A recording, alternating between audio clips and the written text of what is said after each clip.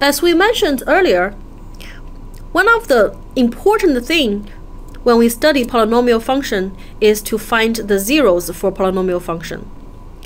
In this video and the following video, we will study the long division and the synthetic division of polynomials that will help us serve that purpose. For example, for this quadratic function, if we want to find the zeros for it, we already learned that if we can rewrite it into product of two linear factors, then we can easily tell that the zeros are x equals to negative 1 and x equals to 5. What about this one? For this third degree polynomial function, although it's less obvious, but if we can also rewrite it into product of three linear factors, then we will be able to find the zeros to be 1 half, negative 2, and negative 5. So since the polynomial function is the product of factors, then if we know one or two factor, we should be able to use the reversed procedure division to find the remaining factors. And that's what long division and synthetic division is about. And I'm going to explain long division using examples. Example 1.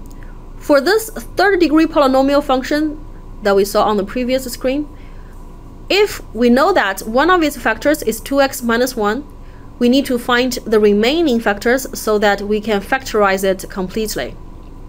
As I mentioned, we're going to use long division, which means that we're going to find the remaining factors by dividing this function with its factor 2x minus 1. And we set it up in a very similar way as the long division you learned in basic arithmetics.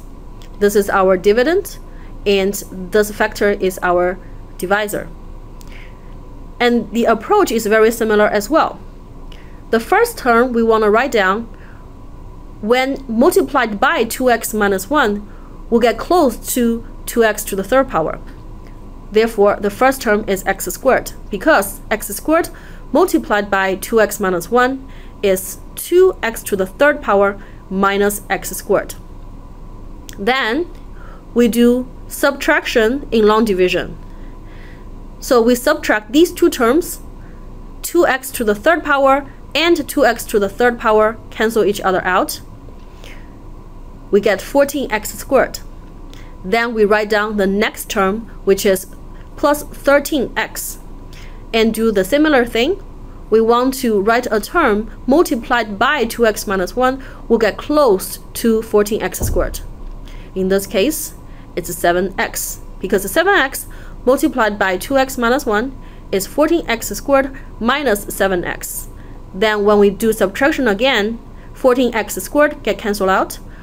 We got 20x. We write down the next term, which is minus 10. Again, the last term here is 10 because 10 multiplied by 2x minus 1 is 20x minus 10. Therefore, when we do subtraction again, we got a remainder of 0, which indicates an exact division. Therefore, this is what we're looking for, the quotient. This indicates the original function equals to 2x minus 1 multiplied by a quadratic factor x squared plus 7x plus 10. And this quadratic factor is not difficult to factorize, which is x plus 2 multiplied by x plus 5. Now this original function has been completely factorized into product of three linear factors. Let's look at another example. For this fourth degree polynomial function, if one of its factors is 3x squared minus 1, we need to factorize this function completely. Similarly, we're going to use the long division. However, notice here this given factor is not a linear factor. This is a quadratic factor. Therefore, when we set up this division, take a look at this divisor here. The divisor cannot be 3x squared minus 1. It needs to be 3x squared plus 0x minus 1. It is very important when you write the dividend and the divisor, your terms have to be in a strict descending power order. and you have to fill in any missing term with a coefficient of 0. So now we're ready to do the division. We want to write the first term that multiplied by 3x squared will get close to 3x to the fourth power. Therefore, that is x squared. x squared multiplied by the factor is 3x to the fourth power plus 0x to the third power minus x squared. Again, we do the subtraction. We got 6x to the third power minus 18x squared.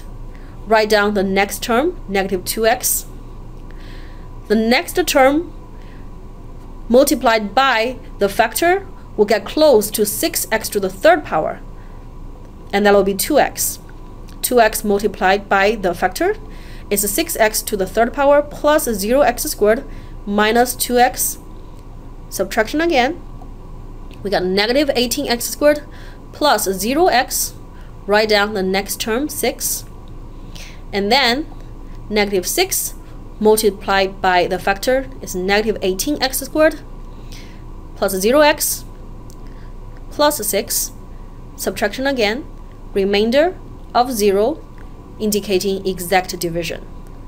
Therefore, x squared plus 2x minus 6 is our quotient, which means that the original function equals to 3x squared minus 1 multiplied by x squared plus 2x minus 6.